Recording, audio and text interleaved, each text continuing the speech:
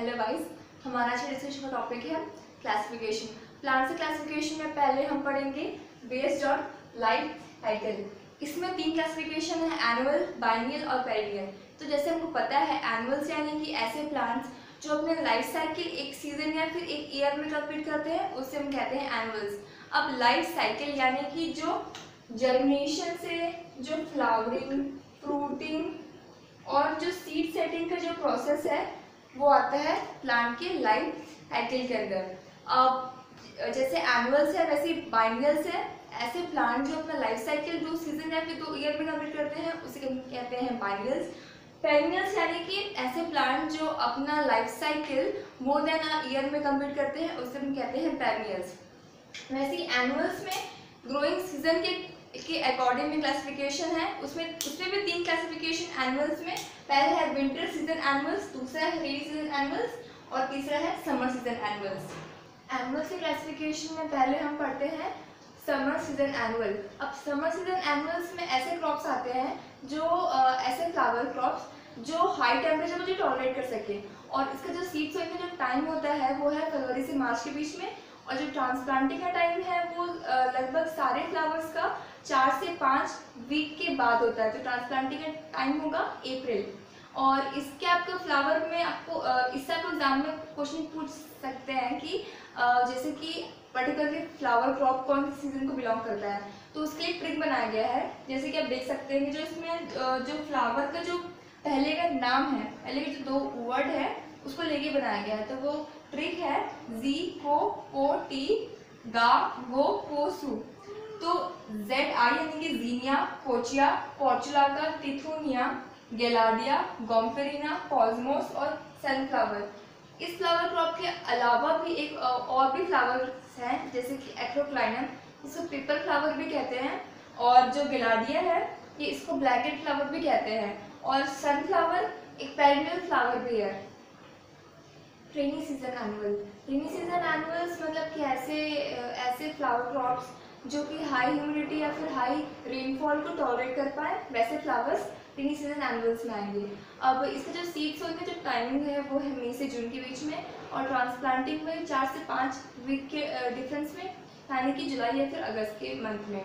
और इसका भी ट्रिक है, जो है A B C A B C यानी कि ए है एमेरंथस बी है बालसम और सी है कॉक्सकॉम इसके अलावा भी कुछ और भी फ्लावर क्रॉप्स आते हैं जो दूसरे सीज़न में भी रिपीट हो सकते हैं. जैसे कि एमरंथस बालसम पॉक्सकॉम के अलावा गिलाडी और गॉम्फेरिना भी रेनी सीज़न क्रॉप में आता है, जो कि समर क्रॉप में भी है. Winter season annual winter season annuals मतलब कि इसमें ऐसे फ्लावर क्रॉप्स आएँगे जो कि कम टेम्परेचर को जो टॉलरेट कर पाए. और इसकी जो सीड्स होने का टाइमिंग है, वो है सेप्टेम्बर से अक्टूबर के बीच में और ट्रांसप्लांट का टाइम है नवंबर से दिसंबर। इसमें बहुत सारे फ्लावर्स आते हैं तो इसे इसका ट्रिक नहीं बन सकता। और इसमें ऑलमोस्ट सारे फ्लावर्स आते हैं। तो, कुछ एग्जाम्पल्स हैं winter season winter season animals के कुछ इस प्रकार है। Daisy marigold antirrhinum ageratum pansy annual chrysanthemum calendula etcetera अब जो एंटीराइनम है इसे हम लोग डॉग फ्लावर भी कहते हैं। और pansy king of animal flowers है। किंग ऑफ़ एनुअल फ्लावर ये एग्ज़ाम में पूछ सकते हैं कि किंग ऑफ़ एनुअल फ्लावर्स किसको बोलते हैं?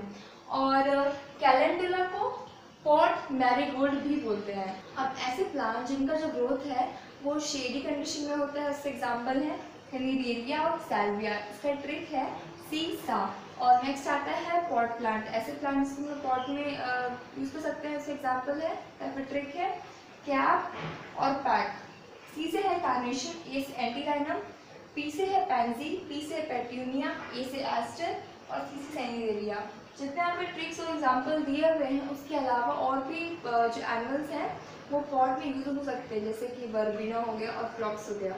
एनिमल फ्लावर्स में कुछ ऐसे फ्लावर्स के सीड्स हैं, जिनका जो जर्मिनेशन होता है सीड्स का, वो सिर्फ़ नाइट टाइम में ही होता है. उसके कुछ एग्जाम्पल्स हैं, जैसे कि नाइजेला फ्लॉक्स और एमरंथस इसमें जो नाइजिला है ये थोड़ा इंपॉर्टेंट है और एमरेंथस का एक स्पीशीज़ है एमरेंथस कॉडेटस जिसको लव लाइफ ब्रीडिंग भी बोलते हैं।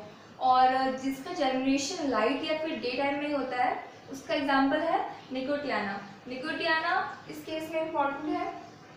और उसके बाद एक क्लाइंथस फ्लावर आता है, जो कि पेकुलर शेप है।